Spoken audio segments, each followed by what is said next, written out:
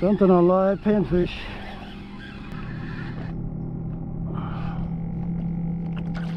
Yeah.